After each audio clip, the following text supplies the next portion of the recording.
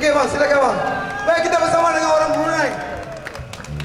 Udah ada orang Brunei malam ni. Sahabat kita nak jamin-jamin malam ni. Beri tepukan gemuruh, boleh tak? Come